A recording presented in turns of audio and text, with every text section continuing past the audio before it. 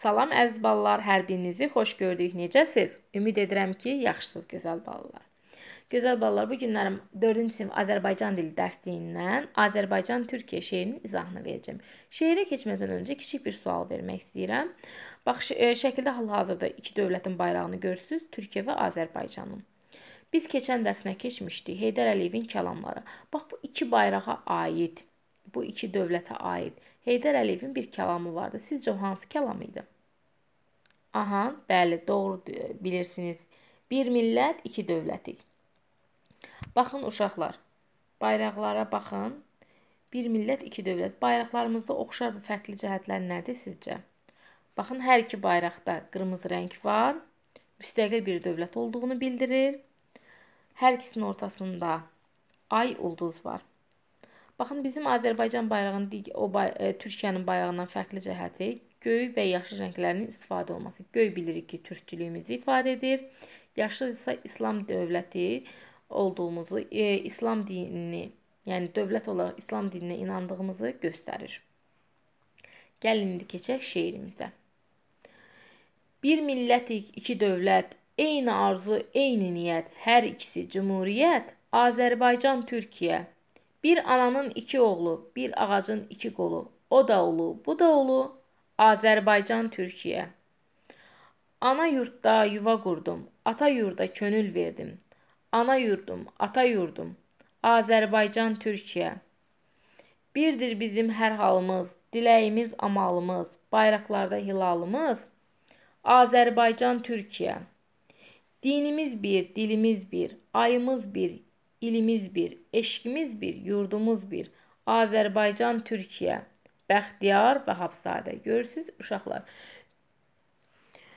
Türkiyə, Azərbaycan iki dövlət, e, bir millətdir, düzdürmü? Eyni zamanda bax bizim dillərimiz də bir-birinə çox yaxındır. Sonra dinimiz də hər iki dövlətin dini də İslam dinidir. E, eyni kökdən, soydan yaranmış bir millətik uşaqlar. İki dövlət olsa da, e, qardaş dövlət olsalar da, yenə də bir-birlərindən dostlar. Ayrı-ayrı dövlət olsalar da, bir-birlərindən ayrılmaz e, bağları var, belə deyək. E, necə insanlar bir-birinə qardaş bacı olursa, Türkiyə dövləti ilə Azərbaycan dövləti də bir-birinə qardaş kimidir. Aha, gəlin keçək indi çalışma 1-ə. Deyir, izahlı lüğətdən istifadə edərək cümhuriyyət və hilal sözlərinin mənasını izah et. Uşaqlar, cümhuriyyət sözü respublika, bizdə necə Azərbaycan Respublikası deyil, deyilir, Türkiyədə Türkiyə Cümhuriyyəti deyirlər. Respublika nə deməkdir? Ali hakimiyyət orqanları xalq tərəfindən müəyyən müddətə seçilən e, dövlət idarə formasıdır. Yəni belə idarə üsulundan istifadə edən ölkəyə deyilir. Hilal isə uşaqlar, bax bizim bayrağımızda Türkiyə və bizim Azərbaycan bayrağında ay para şəklində ay var.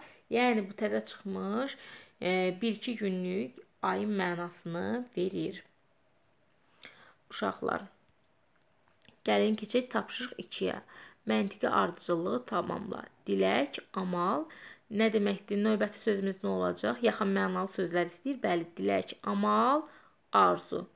Şeirin ideyasını öz sözlərin e, ideyasını öz sözlərinlə ifadə et. Uşaqlar, ideyasını deyəndə, yəni ki, yəni bizə şeirdə nəyi çatdırmaq istəyir? Bir millət, e, iki dövlət bir millət olduğumuzu, biz bir-birimizə necə yaxın, hər e, hər cəhətdən necə yaxın olduğumuzu, bir dövlət olaraq bir Azərbaycan xalqı olaraq, Türkiyə xalqı olaraq bir-birimizə necə yaxın, bağlı olduğumuzu e, göstərməyə çalışır. Çalışma 4. Qəhrəmancasına tez, irəli, dünən, cəld sözlərini cümlədə işlət. Sualını və aid olduğu nitq hissəsini müəyyənləşdir. Məsələsini.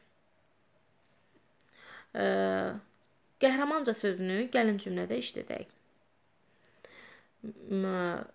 Əskərlərimiz qəhrəmancasına şəhid oldular.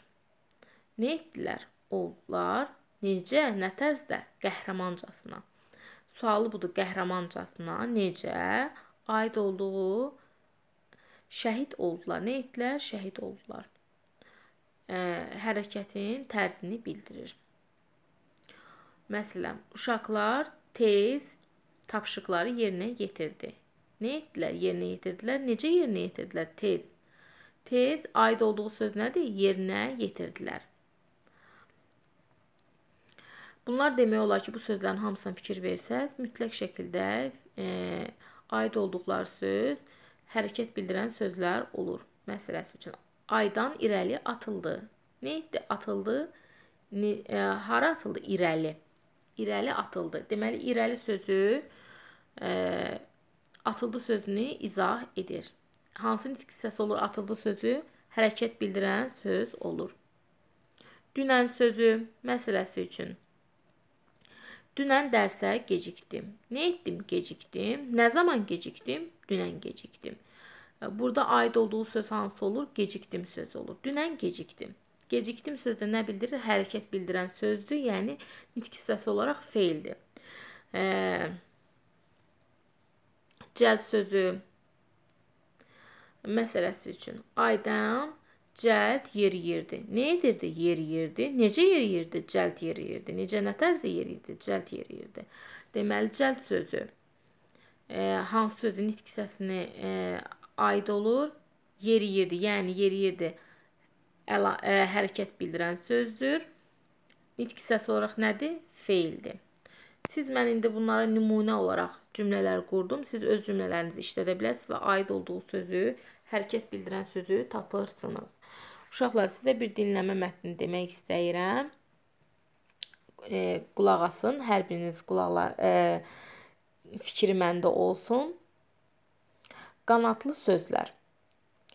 Söz də canlıdır, doğulur, yaşayır, dünyanı gəzir. Bəzi sözlər doğulan kimi uçub aləmi dolaşır, dildən dilə düşür.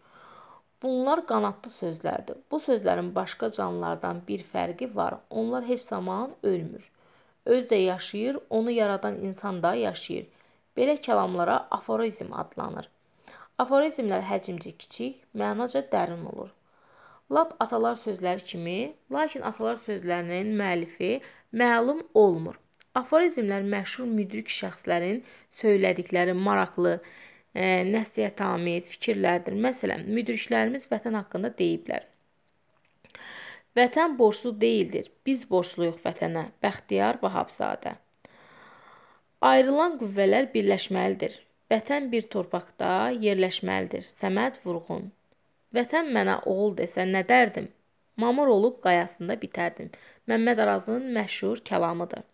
Yəqin ki, bu fikirləri tez-tez eşidirsiniz. Baxın, uşaqlar, aforizmlərlə atalar sözü bir-birinə çox bənzəsələr də, e, Amma fərqləri odur ki, aforizmlərin müəllifi məlum olur, amma atalar sözünün müəllifi məlum olmur. Oxşar cəhətləri isə aforizmlərdə atalar sözləri həcmcə kiçik, mənaca dərin olur. Bircə fərqləri odur ki, aforizmlərin müəllifi məlumdur, atalar sözlərinin isə məl müəllifi məlum deyil.